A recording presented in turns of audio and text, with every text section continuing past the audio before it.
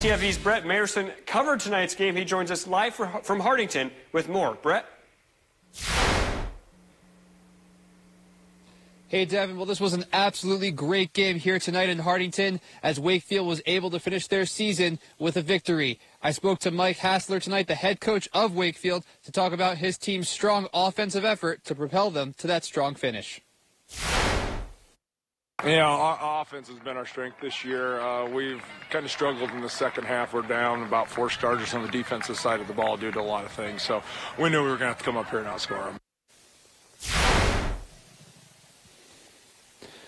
Both teams end their regular seasons with a record of 3 and 5. In Hartington, Nebraska, Brett Mayerson, KTIV Sports Force.